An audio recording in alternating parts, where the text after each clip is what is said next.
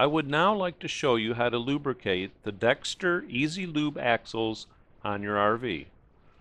The bearings on these axles can be periodically lubricated without removing the hubs. This feature consists of axle spindles that have been specifically drilled and fitted with a grease zerk in their ends. When grease is pumped into the zerk, it is channeled to the inner bearing and then flows back to the outer bearing and eventually back out the grease cap hole. To begin, we will secure our RV by placing wheel chocks under the tires on the opposite side that we will be working on.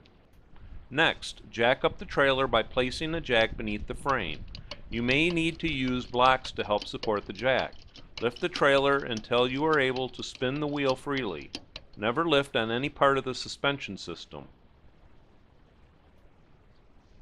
Place heavy-duty jacks under the frame as well for added support.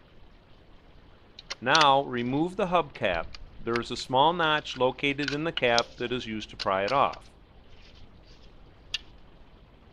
Then gently remove the rubber plug from the end of the grease cap.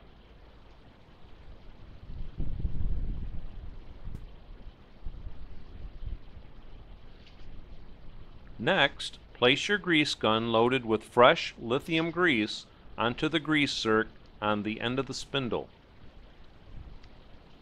As you pump grease into the zerk, old grease will be forced back out through the cap.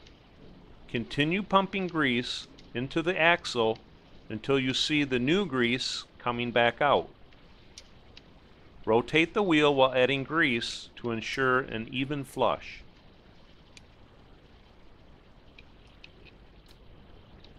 Wipe away the old grease from around the grease gun fitting as it exits through the cap.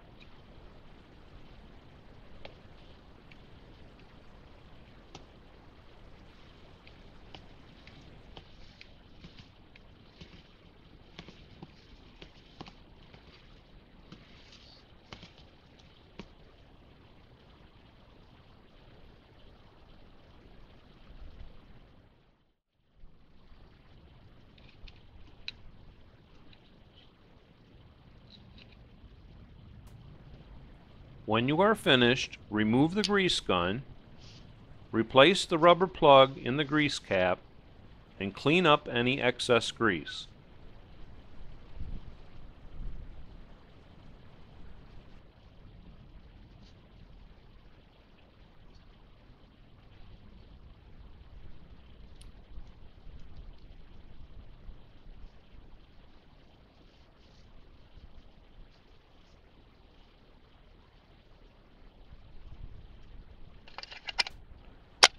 The bearings on your RV should be lubricated every 12 months or 12,000 miles.